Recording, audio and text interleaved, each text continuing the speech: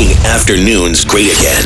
He's got a very serious problem. DJ No Sleep. Island 106. All right, it's the No Sleep Radio Show. Hey, this is Carrie. I heard you talking about the loser line you guys have the other day. So I took the number down. I was out on the beach at the big Halloween party this weekend, and this guy was hitting on me. He was really weird and creeped me out, so I gave him the loser line number. I was just calling to see if he had called in. You know, I was wondering if anybody would be able to give out the loser line number this weekend because it's Halloween and a lot of weirdos come out for Halloween. What was the guy's name? His name was Mike. All right, let me check the loser line voicemail right quick and we'll see if we got a message from Mike. Okay. So, Mike was acting a little bit strange. Uh, let's see if he left a voicemail on the loser line. Hey Carrie, it's Mike. We met at the big Halloween party last night. I couldn't stop thinking about you all night and how we're meant for each other. I mean, you dressed up as a safety correction officer, and I just finished doing three years at Jefferson Correctional.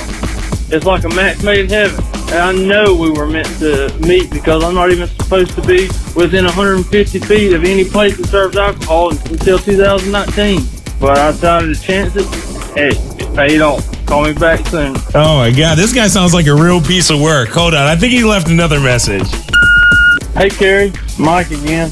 I left you a message like an hour ago and still haven't heard anything from you. I don't want to be too pushy, but I only got 250 minutes a month on my cell phone. And these last 11 minutes I got left have to last me until Wednesday. Who has a cell phone with minutes on it in 2017?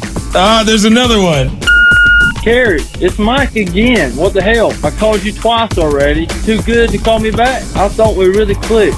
And now you won't even return my simple voicemail. I don't have time for this, literally. I just wasted seven of my last minutes on this. You know what? I hate you. And love you at the same time. oh, he called again. Man, this guy's not giving up. Carrie, I love you. Please call me back. Please, Carrie.